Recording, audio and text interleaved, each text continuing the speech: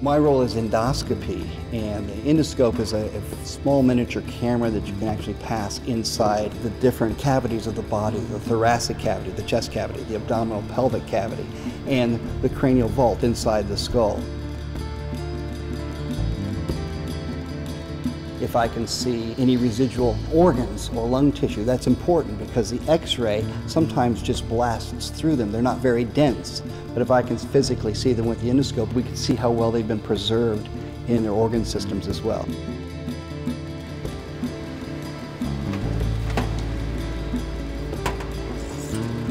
You got your number on that one, Jerry?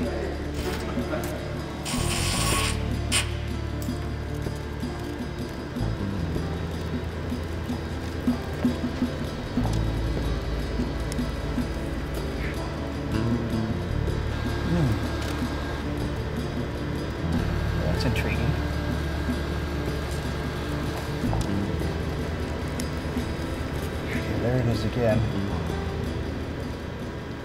What we're finding is some textile inside of this mummy.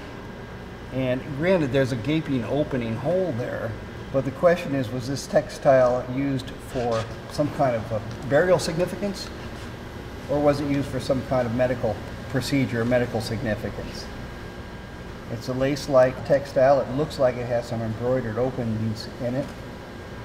So I would suspect it was more of a burial object that ended up inside. Interesting. Mm. Yeah, I've never seen anything quite like that.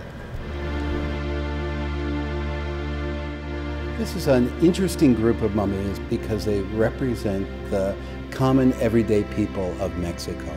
So what we found uh, a number of cases that suggest tuberculosis. And we see things like degenerative changes, people who worked hard developing arthritis. And those are things that you would expect to find in an everyday population. But I think it helps us to connect with the individuals.